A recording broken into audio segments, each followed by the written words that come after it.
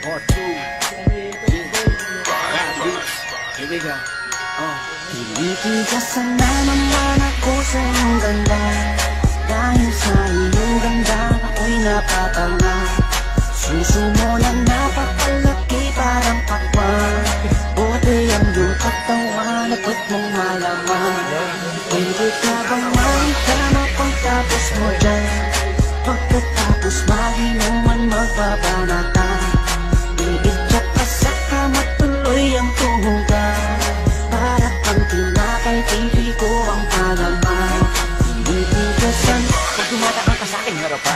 ko malaman kung paano pakakalagan Aking nararamdaman, dami ko ng dahilan.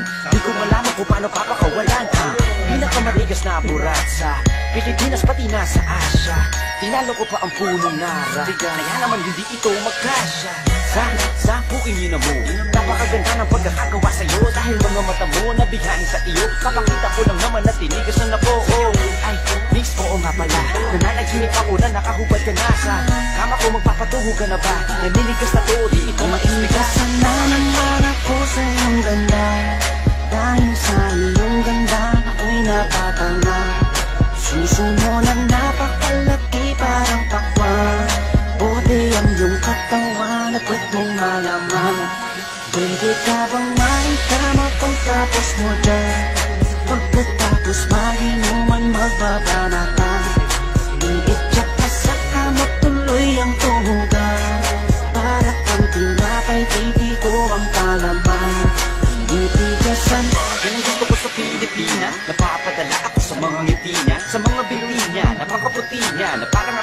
Sana magpatira Mamaya pag wala nang ginagawa Pagpapakatrina halili ka ba mamaya.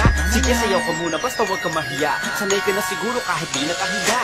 Alam mo naman na lalaki lang ako. Dami kong pinahiligan pero buki mo gusto. Roromansahin kita na para pang si ko. Bibigay sa'yo lahat ipapakain ko sa'yo. Dahil sa'yo lang ako unang tinigasan. Sa'yo ko lang puputok pag ako ko'y nilabasan. Nakahubad na tayo parang si Eva at Adan Kaya ngayon Tinitigasan